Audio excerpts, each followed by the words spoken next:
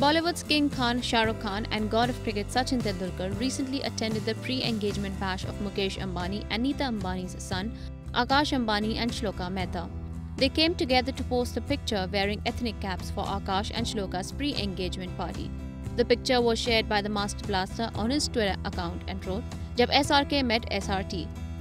After that, King Khan retweeted Sachin's tweet and said, We don't keep photo albums anymore, but I will make an album just to keep this pic with the great man forever. Earlier, Bollywood director Ayan Mukherjee had posted a picture wearing the same style of hats, which were distributed to the guests for the pre engagement party. Including them, a lot of celebrities were present for the party. Meanwhile, Shah Rukh has completed the shoot of Anand L Rai's Zero, which also stars Katrina Kaif and Anushka Sharma in pivotal roles. The film will hit the silver screen on 21st of December this year.